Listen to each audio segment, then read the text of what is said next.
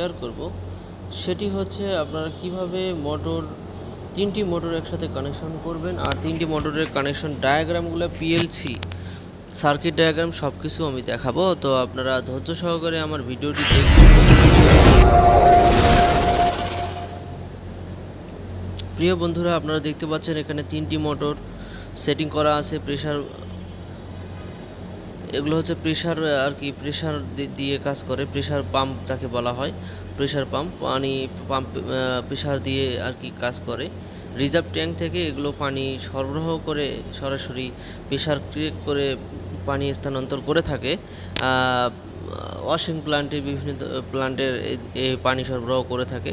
তো এগুলো মোটর কীভাবে কানেকশন করছে? এই পিএলসি এই যে বোর্ডটি দেখতে পাচ্ছেন এইচডিবি বোর্ড এটার মধ্যে কীভাবে অটোতে কানেকশন করা আছে? এটা দেখতে পাচ্ছেন যে এখানে মনিটরে চারটি দেখাচ্ছে, কিন্তু আসলে চারটি সেটিং করা হয়নি।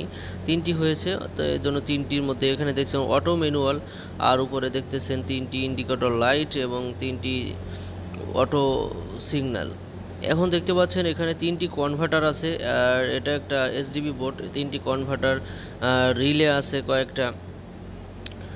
এরপর দেখতে পাচ্ছেন এমসিবি আছে এমসিবি এমসিসিবি আছে, এরপর বাসবার আর পিএলসি প্রোগ্রামার একটা মেশিন আছে। তো এটা কোথা থেকে কানেকশন হয়েছে যে আপনারা দেখতে পাচ্ছেন অটোতে চলতেছে। যখন পানির প্রয়োজন হয় তখন অটোতে চলে, আর এটার বিস্তারিত আলোচনা নেক্সট ভিডিওতে অবশ্যই অবশ্যই করা সম্ভব।